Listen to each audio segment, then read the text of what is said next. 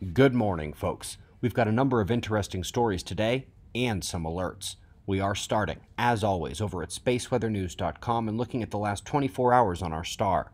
Every flavor of quiet. The silent sunspot continues marching towards the limb to the right. Solar wind is calm and calming slightly more. In fact, it was such a docile day on our star, we'll take a quick look at something from yesterday in a bit more detail. That coronal surge of plasma from the active region is more impressive with the Earth scale next to it. Looking at the coronal holes to forecast upcoming solar wind, we find a number of dark patches, but as coronal holes go, these are small, sparse, and most are at too high of latitude to influence geospace 1 AU down the line.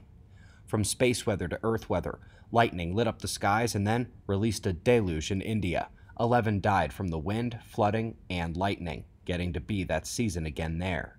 The major weather story begins tonight in the south central states and will produce a three day onslaught of severe weather across the U.S. Tornadoes, hail, and high winds are likely, so eyes open starting tonight. Folks, the Lyrid meteor shower is beginning. For the next week, it will reach peak bombardment of the upper atmosphere and should put on a nice little show for those who can get out there and watch. This is meteorshowers.org. Up next, we go to Chandra. They say an odd X ray signature transient is likely to be the collision of small stars. They like the merger idea, as usual, and with all the usual bells and whistles like explosions and cosmic jets. This came out of the deep field south, Chandra's deepest X ray shot. Astronomers have taken what used to be just a few pixels in the heart of the galaxy and mapped out full star forming regions, including some operating at up to three times the star formation efficiency. The explanation is that something special exists in the region, which is not much of an explanation, and they can only guess what that something special might be.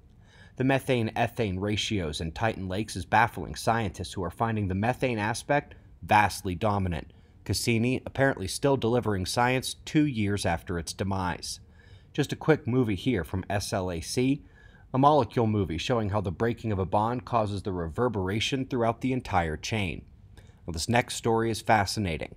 They say that neutrinos are arriving from deep space faster than photons do in some circumstances. That would be light, by the way. The explanation is that an opaque photon shell causes waiting time where the energy allows neutrino emission first, but not the photons. In the case they studied, it was more than an 800 second delay. We've got a geoengineering piece by someone who does clearly want to explore the space, but who also adequately identifies the broad scale and potentially unpredictable worldwide effects of trying to mess with the weather anywhere.